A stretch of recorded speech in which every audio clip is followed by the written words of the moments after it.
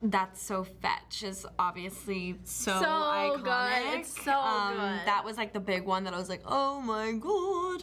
But you can't sit with us. I mean, that's Yeah. obviously so iconic too. You have so many. Yeah, they were real that day. We're a vest. Yeah, Yeah. So good. That one was so fun. On Wednesdays we were pink. That one's also so fun. I definitely think like the day before that any of the like iconic lines from from the original that I was definitely very stressed and was definitely saying it again and again because I was like you don't want to like intentionally go out of the way to make it sound different, but also like the original you can like literally hear it while you're reading the script and like how do you like find some kind of a middle ground and also retain like your own kind of take on the character I tried not to overthink it too much because it could certainly and easily get to that point. I feel like it's so easy to overthink those things. I tried not to say it too much Yeah.